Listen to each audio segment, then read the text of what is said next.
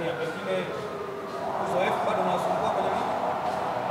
Ah, swala nasema kwamba sio uzoefu bali ni, ni misi ambazo za kawaida za kimchezo, lakini nadhani kadri muda ulikuwa unaenda muda unakwenda, nadhani uliona changes ambazo tulikuwa tunaendelea kufanya, mabadiliko yameonekana. Nadhani second half at least timu angalau tumecheza kama timu zaidi. Yes.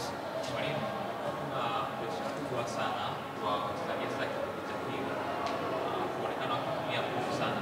Kwa kuna presha kutoka kwenye benchi la ufundi au hiyo presha ilikuwa inasababishwa na nini? Maana kutumia goli ndio ilikuwa kwa kupewa kadi nyingi za njano. Swala si pressure, nadhani duniani kote pressure zimewe juu, na haswa pale unapokuwa uko nyuma umeshafungwa. Kwa hiyo naamini kwamba kila wakati unatamani kushambulia, kucheza kwa nguvu zaidi, kuangalia kwamba unatafuta kusawisha goli. Kwa hiyo nadhani ni pressure ya kawaida tu ya kimchezo. Asante, nashukuru.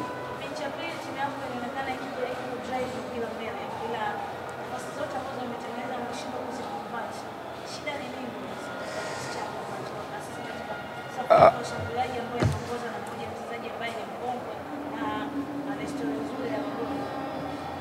Ah, ndio tatizo kubwa la usajili wa Kitanzania. Kikubwa ni kwamba umakini, umakini, kwa sababu naamini kama wasajili wangekuwa watulivu, wangekuwa makini, naamini kwamba mechi pengine sasa hizi tunaongea mengine hapo, lakini yote kwa yote tunaendelea kufanya masahisho kadri siku kama nilivyosema, time za pili tumepoteza, basi tunarudi nyumbani tukajipange kuhakikisha kwamba na sisi tunaianza ligi nyumbani.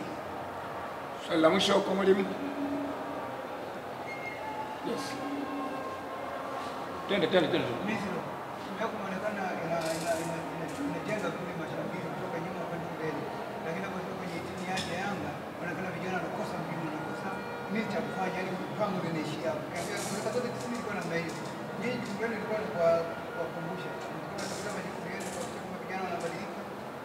Yeah, of course ni ya kila siku hayo. Nadhani kocha anajitahidi pia kufanya masahisho kila wakati, kuambia na wanapokuwa ndani ya 18 kule ameshafika utulivu zaidi. Hata angalia kwenye ligi zetu za nje za wenzetu kwa Ulaya, ndani ya nje ya 18 ndani ya 18 mle huwezi kukuta mchezaji pengine analipiga tu mpira ovyo ovyo pasipo sababu au kupoteza pasi pasipo sababu. Ni kitu ambacho hapo ni akili ya mchezaji inatakiwa ifanye kazi sana.